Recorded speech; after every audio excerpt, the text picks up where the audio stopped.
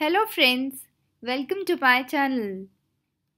Today we will understand the meaning of dream in Hindi. आज हम जानेंगे dream का हिंदी में मतलब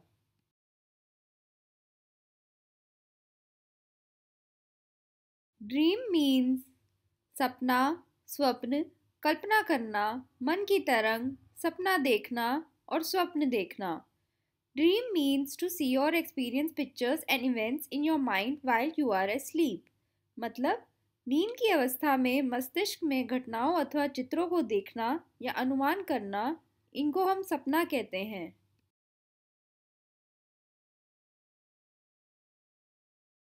Now let us understand through examples अब हम इसे उदाहरण के द्वारा समझते हैं।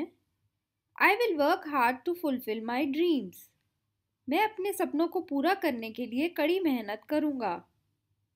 I had a strange dream last night कल रात मैंने एक अजीब सपना देखा।